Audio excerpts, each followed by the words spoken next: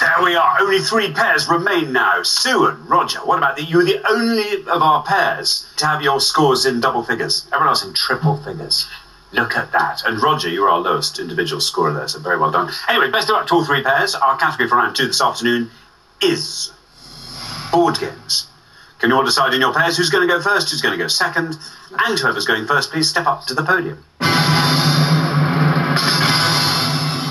Okay, let's find out what the question is. Here it comes. We gave 100 people 100 seconds to name as many two word spaces on the Monopoly board as they could. Richard. Yeah, simply looking for any space on the classic London Monopoly board, please, that has two words only. Please don't say in jail or just visiting.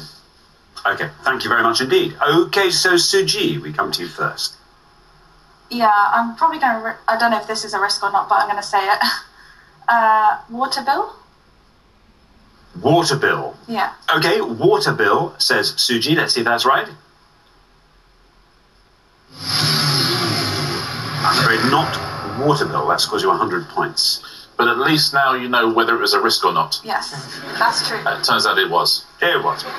It was indeed. Now, Sue, what are you going to go for? Uh, One that came straight to mind was Fenchurch Street Station.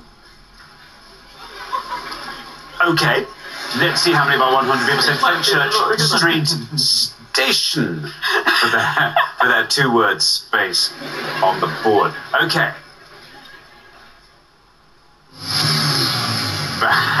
Luck, Sue. It's, it's, it, you know, yeah, there we are. Um, that scores you 100 points. It has started off ever so well this round, everybody. And I did not think we'd see the level of risk that we are taking. To go for a three-word square for a two-word, I mean that re- that's that's, that's tightrope walking of the high. I'm sorry it didn't pay off for you. It would have been lovely. This would have been lovely if it had. But uh, I can't.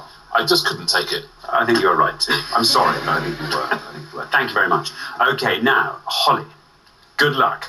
Really don't want to be the third hundred on this so far, but um, I'm going to say Pall Mall. Wow. Wow. Never have we had a reaction like that before. um, Pall Mall says, Holly, let's see how many of our 100 people said that. Pall Mall. Is right.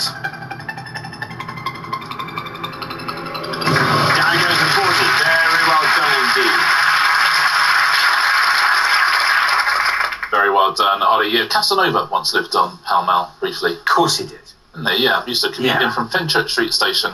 Pall. Moved out when his water bill was too big. Yeah, right, right. But Thank yeah, you. Casanova. Interesting. On Pall Mall. Is, there- is there a plaque there for him? I hope there is. Well, there's probably there's plaques for everyone on Pall Mall, aren't there? That's true. Thank you.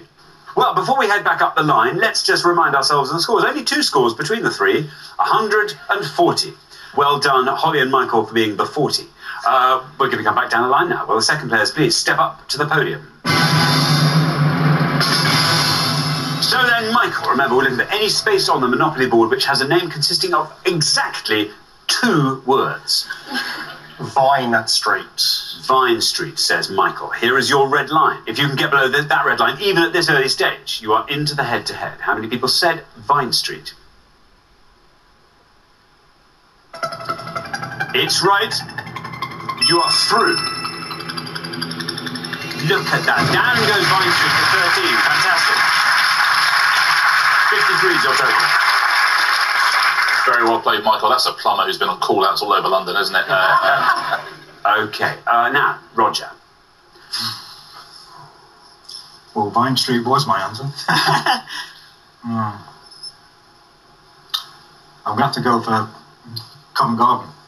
Okay, Covent Garden, says Roger. Let's see what happens when we say Covent Garden. No red line for you, as you're currently the high scorers. Joint high scorers. No, bad luck. It's country. I'm afraid that scores your 100 points, takes your total up to 200. I have some good news for you, though, which is it is two words. so that, that is, as, as, as a couple, you are learning, which is good. Thank you very much indeed. Now then, Sujan, here we are. You have a target of 99 or less. Yeah. Um, so I think I'm going to go for community chest. Community chest, Yeah. says Sujan. Here is your red line.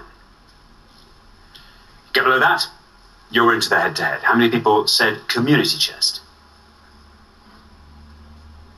It's right and you're through. Well done. And down goes to 19. Very well done indeed. 119 is your total. There's a place for you in the head to head. You have to admire the calmness with which Sujan ended that round for us. After the carnage before you, just absolutely, you knew exactly what you were doing. Congratulations, well done. No point pointless answers at all, so I'm going to take you through the low scorers. Um, you got a guess on this one? Um, free parking. Free parking, 17. Not terrible. Oh, super tax. That was Super tax is a good answer. Super tax would have scored you four. Yeah. Uh, there's a there's a street which is the lowest score of all. Two points if you said Marlborough Street. Four points for super tax and income tax. Seven points for Pentonville Road, Whitechapel Road, and an electric company. Nine for Northumberland Avenue. Ten for Euston Road. Uh, Eleven for Coventry Street, which I I think is what you were thinking about, Roger. We all we all saw what happened. Um, you would have got 11 as well for Bow Street. Waterworks, Suji, would have scored 14 points. Uh, 15 for Marylebone Station. Do you see how that's only got two words in it, the station there, Marylebone Station? 15 as well for Fleet Street. Uh, 24 for Leicester Square, 25 for Oxford Street, Trafalgar Square, 26 for Regent Street, Bond Street 27, and the biggest score of all, Park Lane 42. Thank you very much indeed. Well, we are at the end of our second round, which means we have to say goodbye to another pair. Roger and Sue, I'm afraid it is you to whom we must say goodbye. We'll see you next time, though. And uh, I I'm, have absolutely no doubt you'll soar through to the head to head and beyond. But uh, meantime, thank you very much indeed, Roger and Sue.